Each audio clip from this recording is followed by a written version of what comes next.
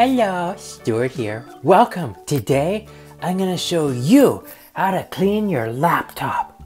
Now first, what you're gonna need. 17 Q-tips.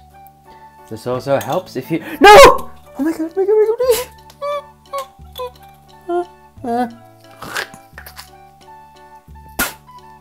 Alright, so you're gonna need the Q-tips and also some handy dandy paper towels. Now, most of you men will already have these handy.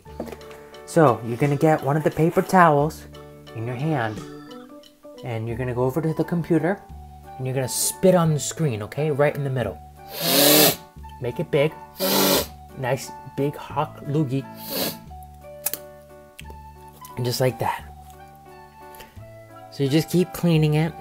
And don't worry if it gets down in there between little crevices.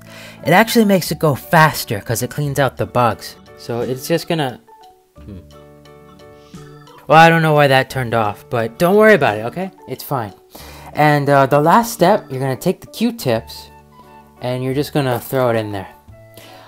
Alright kids, well thank you so much for watching. I think this was a great tutorial, don't you? I learned a lot, I sure did. Also, guys, um, I got a new pet fish. A new pet fish.